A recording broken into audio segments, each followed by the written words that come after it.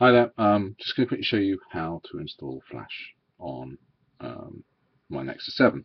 Uh, 4.1 Android doesn't allow it, um, well it doesn't allow it, it just doesn't come with it, so but you can overcome that.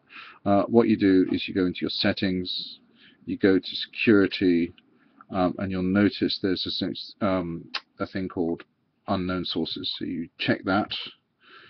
Um, you then download the Flash APK. Um, I've, I've tried downloading the ones from the official site, but I can't seem to get those work. But I did find one that seemed to work. Um, I'll give you the link to the site from where I got it. So um, what we'll do then is you will go to the downloads, and you'll see there that I've got one there that I've tried. So install Flash. Right, and we're done. Now the next thing to do is we need to have a browser that works really well. Um, I've tried Firefox, I haven't tried Opera, um, but one that apparently works really well is one called Xscope. So I have on the page here, it's got the Xscope browser. Just install that. So it's just downloading. It's quite a small download. And it's done. Now, what we can do is we can go now go into our apps and you'll notice there down at the bottom there there's a flash player setting. So I will now open that with my browser the Xscope browser. Hit there. It should tell me that oh there's a flash object you want to download. Say yes I do. And there we are. Um, I have found the reason one of the reasons why I've used it is for things like Moshi Monsters for my daughter um, and for that reason and that reason alone.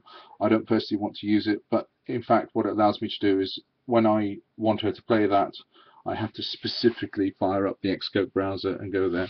So I think I can just do that by just going you know what? sheet. Nope that didn't work. Monsters.com and what you'll see there is it starts saying oh do you want to download things? What I have done is, is that when you go into the settings here there's a setting a, bit further down which is auto load um, uh, flash. And in this case because I'm specifically using the browser for that purpose I don't see a reason not to. And here it should it's already got one up Oh, that's beautiful.